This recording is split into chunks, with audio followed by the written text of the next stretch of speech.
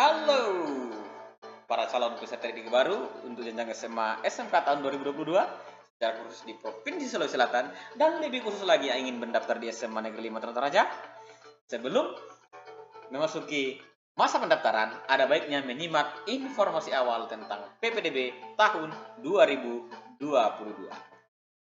Mari kita simak sama-sama lewat slide berikut.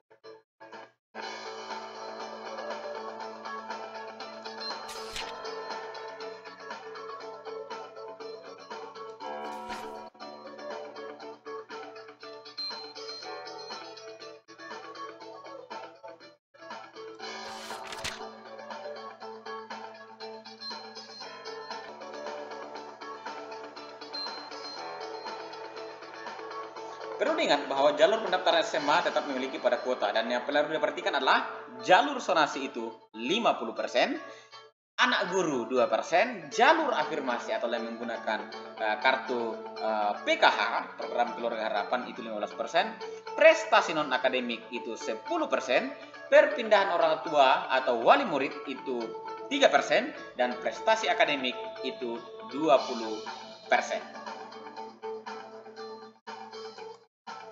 Berikut untuk jalur pendaftaran SMK dan kuotanya. Yang menarik adalah di jalur pendaftaran SMK ada ja, ja, ada uh, kuota untuk anak dunia usaha dunia industri mitra SMK yang, yang disingkat dengan DUDI ya itu ada 5%. Selebihnya ada prestasi akademik 60%, perpindahan tugas orang tua wali itu 3%, prestasi non akademik 5%, afirmasi 15%, sementara jarak terdekat dari sekolah itu hanya 10%. Sonasi pada SMA dan terdekat ke sekolah SMK. Diperhatikan baik-baik ketentuannya.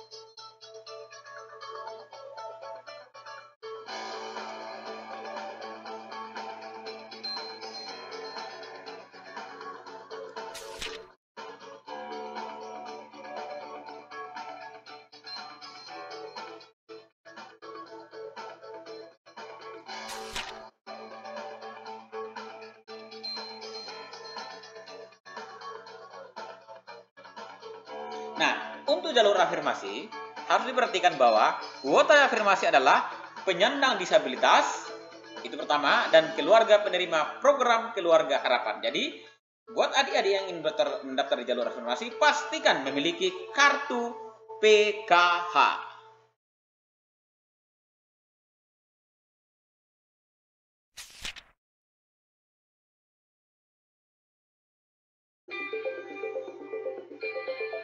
Berikut perpindahan tugas orang tua wali. Diperuntukkan bagi calon peserta didik baru yang harus mengikuti orang tuanya atau walinya berpindah tugas ke tempat yang baru.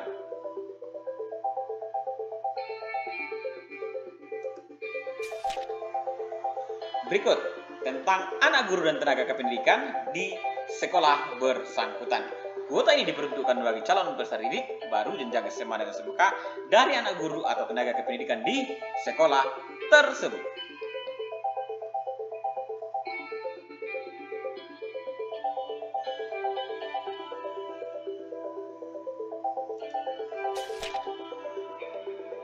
Ini yang anak dunia dunia usaha, dunia industri, mitra SMK. Jadi ini teman-teman yang di SMK tahu lebih banyak ini.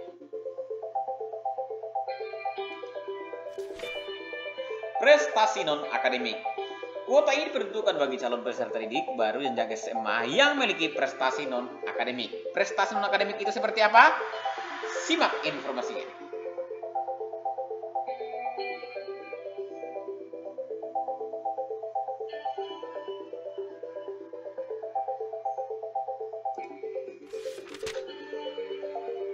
Nah, ini tentang prestasi non-akademik.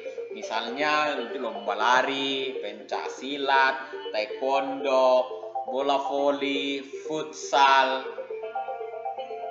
Itu semua masuk dalam prestasi non akademik dengan bobotnya masing-masing. Semakin tinggi levelnya, maka peluang untuk diterima akan semakin bagus.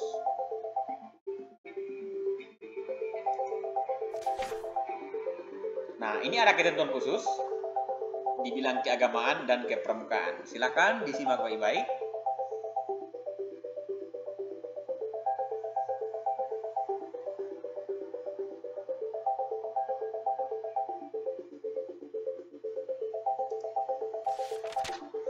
Selanjutnya, jalur prestasi akademik. Nah, jalur prestasi akademik ini diperuntukkan bagi calon peserta didik baru yang sistem penilaiannya merupakan gabungan rata-rata nilai rapor atau yang sederhana semester 1 sampai dengan semester 5. Jadi di sini ini adalah keringkingan nilai rapor dari semester 1 sampai 5 selama di SMP, tapi perlu diperhatikan bahwa mata pelajaran yang digunakan untuk jalur prestasi akademik adalah satu bahasa Indonesia, matematika, bahasa Inggris, IPA, dan IPS. Jadi buat adik-adik yang ingin ikut jalur prestasi akademik, pastikan nilainya tinggi pada lima bidang studi.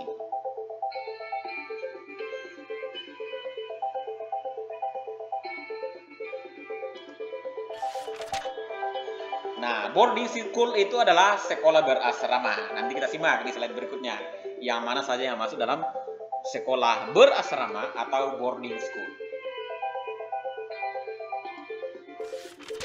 Nah, ini dia SMA boarding school di Provinsi Sulawesi Selatan. Ada semua 17 Makassar, semua 13 Pangkep, semua 5 Parepare, semua 19 Pangkep, semua 11 Pindrang, semua 6 Baru, dan semua 5 Goa.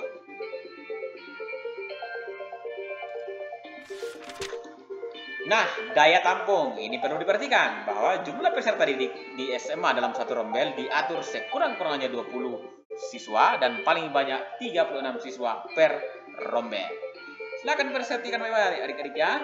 Semoga nanti bisa berhasil dalam PPDB tahun ini masuk di sekolah impiannya. Nah, ini yang paling ditunggu-tunggu.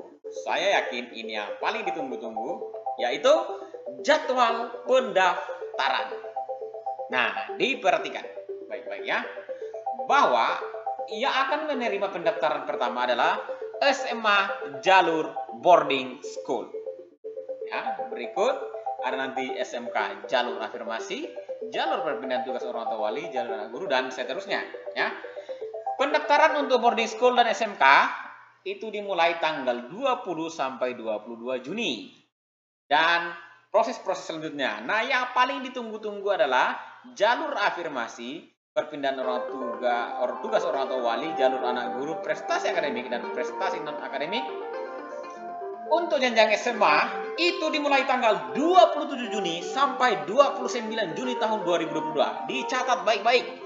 Pendaftaran di jalur SMA serentak se-Sulawesi Selatan dimulai tanggal 27 Juni sampai 29 Juni tahun 2022. Tapi ingat, khusus bagi SMK SMA SMK sekolah negeri ya. Swasta tidak masuk di sini. Sekolah negeri dan juga boarding school.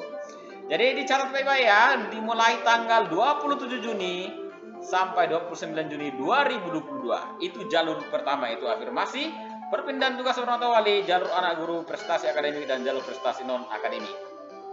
Nah, untuk jalur sonasi, mungkin ini yang paling ditunggu-tunggu ya. Untuk SMA, jalur sonasi itu pendaftarannya tanggal 4 sampai 6 Juli tahun 2022. Jadi jalur sonasi nanti di bulan Juli ya. Akhir Juni itu adalah jalur afirmasi dan jalur-jalur yang lain. Jadi perhatikan baik-baik ya. Ini harus diperhatikan baik-baik. Jalur-jalur pendaftarannya dan tanggalnya. Nah, Baik. Nah, ini diperhatikan ya informasi tentang jalur sonasi dan afirmasi.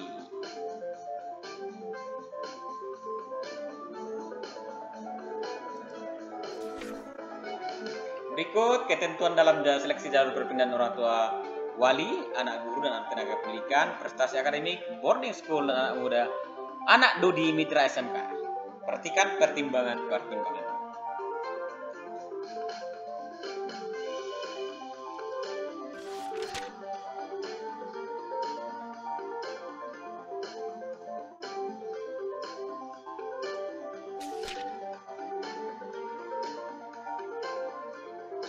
Ingat, mekanisme PDB itu ada dua ya, online dan offline. Terkait masalah website pendaftaran, tunggu informasinya di bulan Juni atau menjelang penerimaan peserta didik baru akan kami sampaikan secara resmi informasi website pendaftaran. Jadi, tidak disarankan ke sekolah meminta formulir, tapi mendaftarnya secara online. Nah, ini dia beberapa sekolah yang akan melaksanakan PPD secara offline atau secara tatap muka karena berada di wilayah yang memiliki kesulitan dalam mengakses jaringan internet. Kurang lebih ada 43 SMA negeri se Sulawesi Selatan.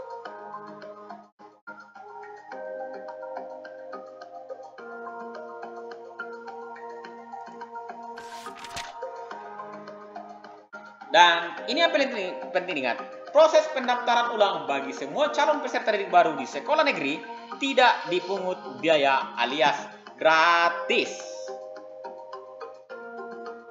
Ketentuan-ketentuan lainnya silahkan dibaca dan disimak lebih baik ya adik-adik.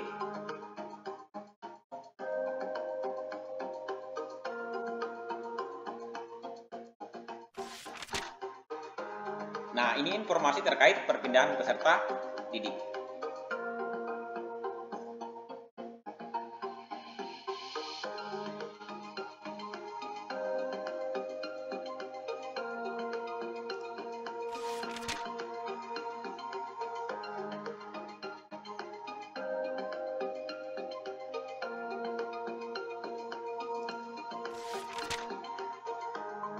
Nantinya akan ada kanal informasi dalam bentuk media sosial yang akan diselenggarakan oleh pihak penyelenggara di sekolah di setiap sekolah negeri dan juga dari cabang uh, dinas wilayah masing-masing.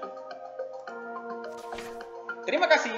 Demikian informasi awal tentang PPDB jenjang SMK, SMA dan SMA Boarding School tahun 2022 di Provinsi Sulawesi Selatan.